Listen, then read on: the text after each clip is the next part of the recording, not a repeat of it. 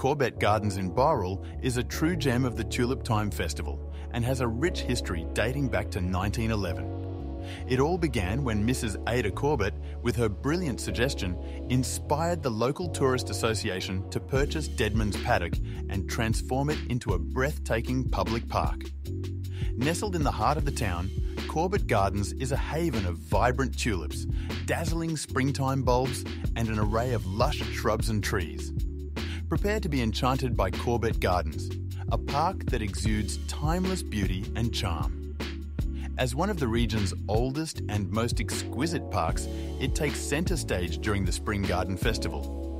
With an astounding display of over 75,000 massed tulips and 15,000 annuals, this festival is a sight to behold.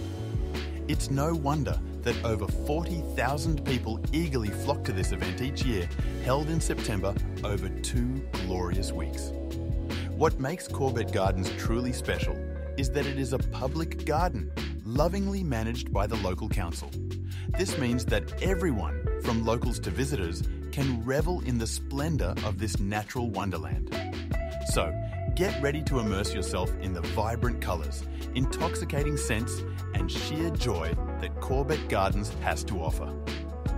Come and experience the magic of Corbett Gardens, where nature's beauty unfolds before your very eyes.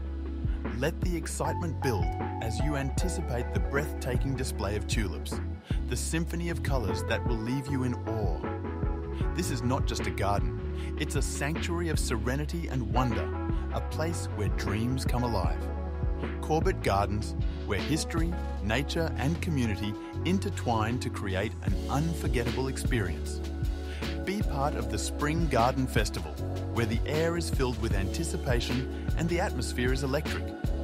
Don't miss out on this extraordinary opportunity